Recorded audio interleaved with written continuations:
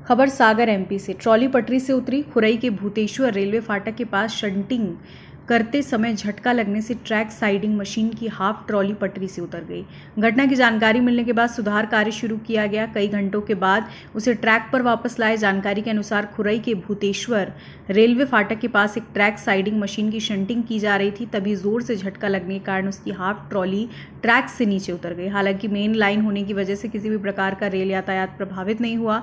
इसकी जानकारी अधिकारियों ने बीना रेलवे जंक्शन के अधिकारियों को दी। फिर जंक्शन से राहत बचाव यानी खुरई भेजा गया जिसमें TRD, engineering, C and W सहित अन्य विभागों के अधिकारी मौके पर पहुँचे। मशीन के पहियों को वापस ट्रैक पर लाया जा सका और शंटिंग की जा सकी।